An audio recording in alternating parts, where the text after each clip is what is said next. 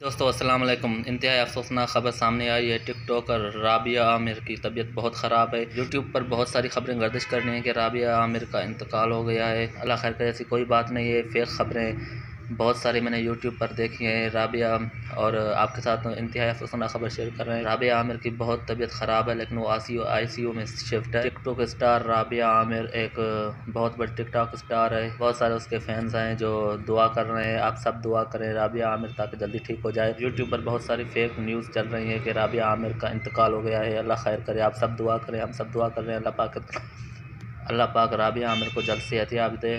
सेहतियाबी दे। तो इन मिलते हैं नेक्स्ट वीडियो में तब तक के लिए अल्लाह